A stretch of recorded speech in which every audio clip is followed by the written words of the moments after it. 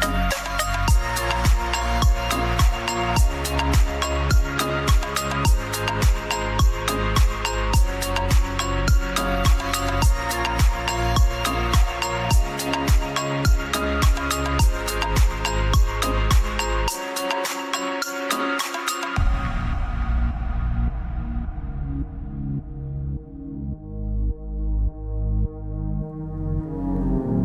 tornata Arianna, la Buonasera. dottoressa Arianna Parisio. Buonasera. Buonasera Arianna. Allora, stasera parliamo di un argomento che secondo me pericolosi è okay. proprio la manna dal cielo. Arriva l'autunno, arriva l'inverno. E quindi parliamo di cioccolato. cioccolato. Arriva il cioccolato. Anche che arrivano le feste, per cui... Eh sì. Lo mangiamo tutti il cioccolato? Lo mangiamo quasi tutti. Quasi, quasi tutti. tutti. Sì, quasi. Eh, perché ci sono comunque alcune persone che non devono, non devono, esagerare, ad esempio chi ha problemi di colite, il cioccolato, eh, soprattutto perché contiene comunque caffeina e teobromina, ha degli effetti che sono negativi. Anche il colon irritabile? Chi ha il colon irritabile, il cioccolato deve stare, non è che non lo può mangiare, però comunque deve, deve sapere che quando lo mangia... Ma se lo mangia associato a qualche altra cosa? Mm, è lo stesso. Parlo in difesa di chi, in poverino, di chi... deve Diciamo che ogni tanto può scegliere di fare il sacrificio, si mangia il cioccolato, eh, il si gode con pane e cioccolato? Di... Si mangia il famoso pane e cioccolato, anche fa l'eccezione, lo strappa la regola, poi magari ne paga le conseguenze, però... Ecco, ecco. Tipo pizza calda e cioccolato e Nutella sopra? Allora, pizza calda, cioccolato e Nutella, ok, diciamo che se facciamo pieno il piano di zuccheri e che più che mangiare cioccolato con cacao che fa benissimo, stiamo dando un colpo alla glicemia.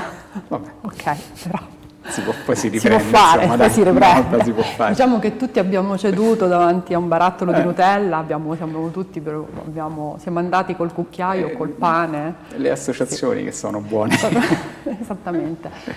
Poi il cioccolato da dipendenza non è, non è una favola, un modo di dire, perché comunque contiene delle molecole nome complicato, lasciamo perdere, lasciamo perdere delle molecole che... Ma creano dipendenza. Sì, perché sono simili ai cannabinoidi, okay. Quindi creano proprio dipendenza, ci sono degli studi seri, degli studi... Quella parte dell'area del cervello che sì, porta sì, poi sì, a... che porta comunque da un, degli effetti benefici sia a livello di mm, elettroencefalogramma che di battito cardiaco che sono paragonabili a situazioni piacevoli anche di altro genere, certo. quindi comunque il cioccolato dà dipendenza. È gratificante, quando è sei triste gratificante. Il pezzo di cioccolato è... Sì, però qui attenzione perché è gratificante, però il cioccolato dolce, la Nutella, il cioccolato al latte, il cioccolato bianco non danno la stessa gratificazione, magari a livello di palato sì, ma a livello proprio del cervello okay. non danno la stessa gratificazione che può dare quadratino di cioccolato extra fondente, quindi proprio quello più ricco di cacao,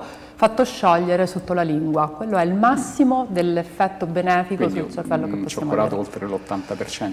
Dal 75% in su, perché il cioccolato è considerato fondente sopra il 45% di cacao ed extra fondente sopra il 75%. Quindi extra fondente, sì. 75% sotto il palato, tipo sotto un sublinguale praticamente. Sì, sublinguale, una... sì, come se fosse un farmaco, tra virgolette. Un vero e proprio perché, farmaco del benessere. Sì, perché è il cacao, non è il cioccolato che fa bene, certo. contiene cannabinoidi, contiene... Ma il cioccolato eh... fa dimagrire? No, no. Eh. neanche l'extra fondente. neanche l'extra fondente.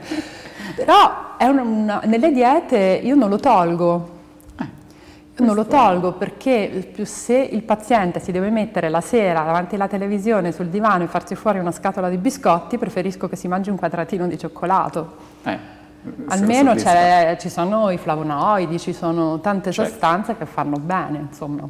Quindi, poi parliamo sempre comunque di cioccolato fondente, perché i cioccolati non sono tutti uguali.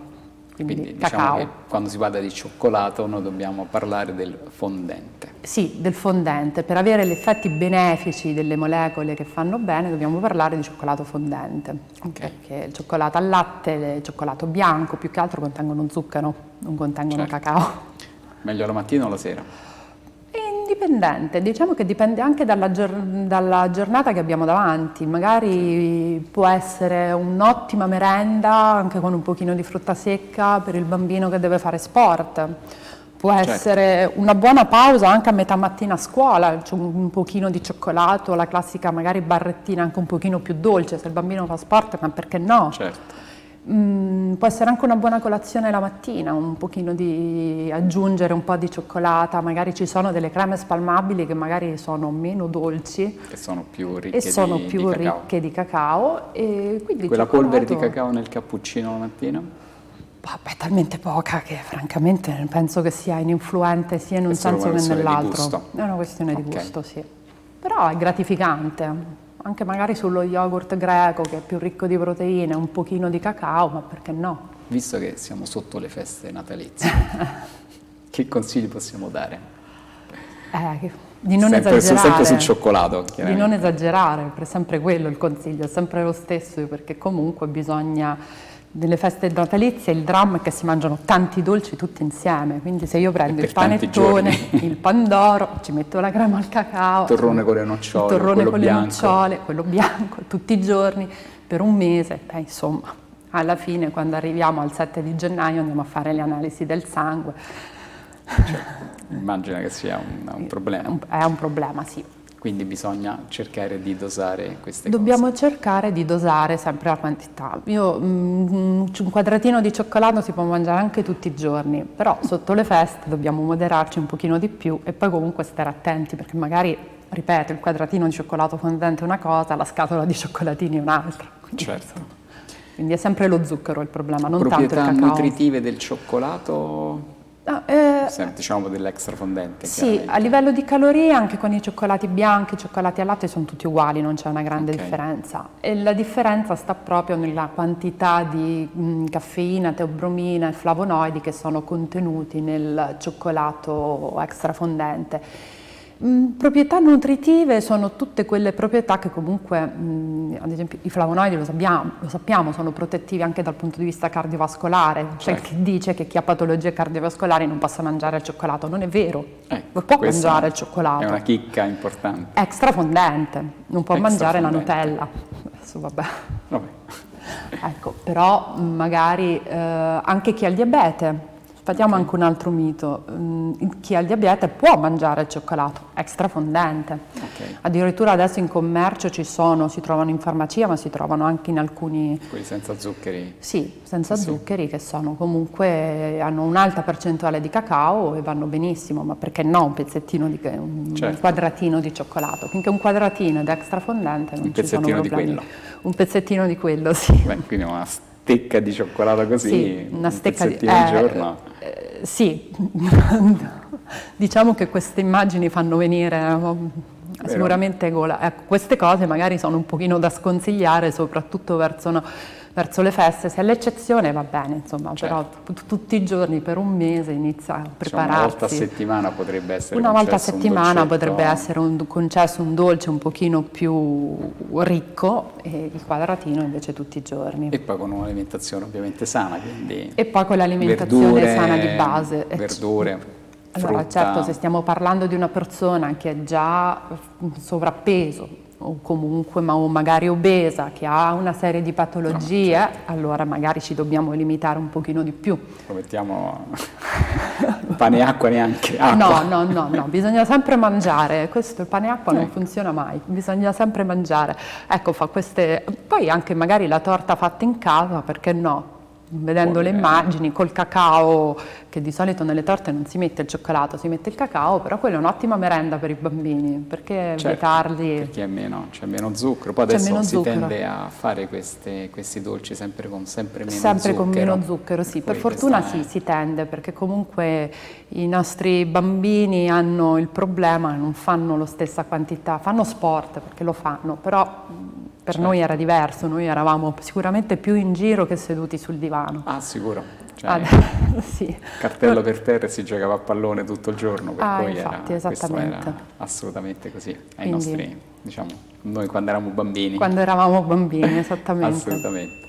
Bene, Arianna, grazie su queste delucidazioni sul cioccolato, quindi a parte quelli che hanno il colon irritabile, insomma, colite così, il resto tutti possiamo mangiarlo, tutti possiamo mangiarlo. sempre con moderazione. moderazione esattamente. Cosa, la parola giusta credo che sia moderazione e soprattutto cioccolato ricco di cacao, quindi l'extra fondente. L'extra fondente. E questo ci dà insomma una garanzia che... Sì e se ricordo bene mi, eh, mi, sembra di metterlo sotto il palato, quindi modello sublinguale la sera per Sì, quello è un, ottimo, è un, ottimo, metodo proprio per alzare il, i livelli delle endorfine, della serotonina, okay. il cacao sublinguale, tra virgolette, eh, dà una... Um, alza uno stimolo, uno stimolo positivo e quindi a volte esattamente toglie anche quella voglia di dolce e di zucchero che a volte arriva, soprattutto dopo una giornata stressante, eh, dopo certo. cena, invece il cacao sublinguale ci aiuta. Bene. Grazie di questi preziosi consigli Arianna e Prego, ovviamente lo sai, tanto tornerai e parleremo di altri argomenti, anzi se vuoi possiamo già lanciarlo uno, quello sul colesterolo, colesterolo. ne avremmo parlato? Sì, Bene. Assolutamente, allora, colesterolo, anche seguiteci. con il cioccolato, il colesterolo ten, non fa male. Perfetto, ecco. vedi, vedi quante cose sì. fa bene il cioccolato. Allora, rimanete sempre con Sport e Medicina perché una delle prossime puntate avremo il colesterolo con la dottoressa Arianna Parisio. Grazie Arianna grazie e grazie ai nostri telespettatori. Grazie.